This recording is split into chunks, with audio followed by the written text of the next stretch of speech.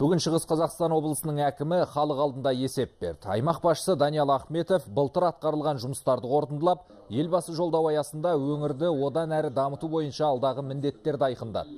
Шығыс Қазақстанда өндірістің барлық саласында экономикалық өсімнің оң қарқыны сақталған.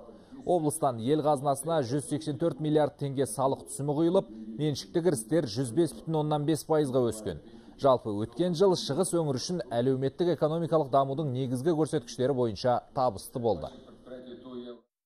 Өткен жыл жалпы өнерлік өнім 105 пайыз артып, 2,2 триллион теңгені құрады.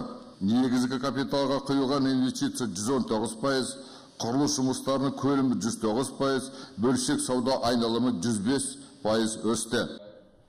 Жұмыссыздық көрсеткіші өткен жылдың деңгейінде қалған, яғни 4,8 пайыз, ал өнеркәсіп өнімдері 9 пайызға төмендеген.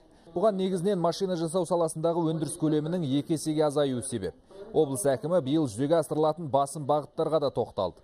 Ең алдымен қаржы саясатын оңтайландыру және энергияны үнемдеу бойынша қандай жұмыстар жүргізіліп жатқанын айтты инвестиция тарту ауыл шаруашылығы мен шағын және орта бизнесті дамыту құрылыс жол білім денсаулық сақтау саласында өткен жылға атқарылған жұмыстарда сараланып биылғы жылдың жоспары түзілді.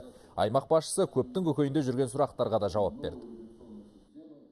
Бір жылда көп өте көп жұмыс жасалды. Біз ауыл шаруашылықтың азаматтары ол кісіге ризамыз. Неге десеңіз мынау мал жағын көбейту.